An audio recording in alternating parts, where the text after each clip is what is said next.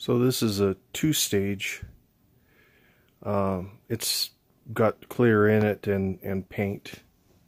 And I mixed it 8, 4, and 1, which is 8 paint, uh, 2 reducer, and 1 hardener, not 8, 4, 1, 8, 2, 1.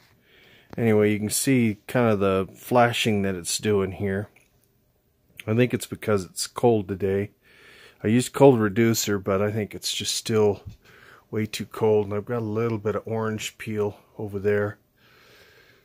And some guys would recommend, well, just go in there and um, shoot a little more reducer, pure reducer on there. But I just didn't think that would do much. And then some, for some reason, some trash got in there.